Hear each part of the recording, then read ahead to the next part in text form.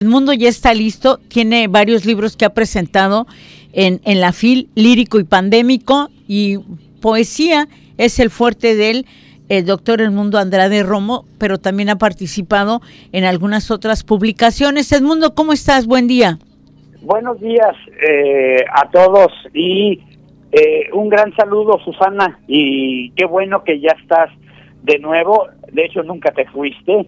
Gracias. Siempre estuviste ahí, pero ahora ya compartiendo cabina. Así es, aquí estamos con Karina y todo el equipo. Y hablando de la FIL, de esta trigésima sexta edición de la FIL, y eh, desde luego tu comentario, algunas de las publicaciones que eh, has presentado ahí en la FIL al mundo.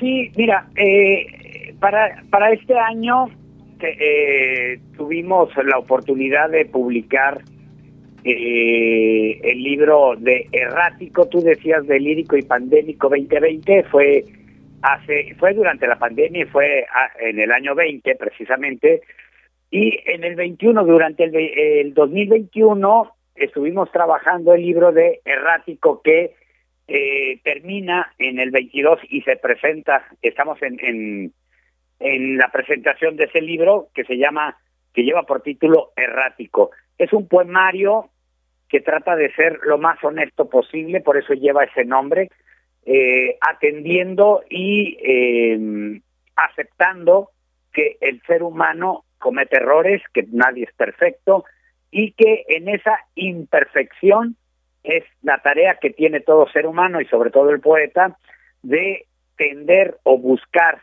la perfección a través de la palabra y a través de los sentimientos. Muy bien, pues estaremos muy pendientes, Edmundo, eh, de todo el trabajo que se presente por parte del Centro Universitario de la Costa, de todos ustedes que siempre, la verdad, enriquecen y, nos sorprende.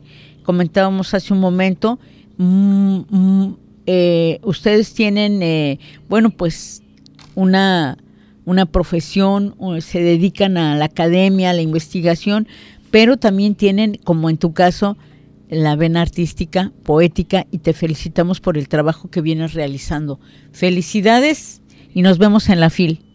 Sale, muchas gracias. Un abrazo, estimado Edmundo. Felicidades. Karina, también un abrazo.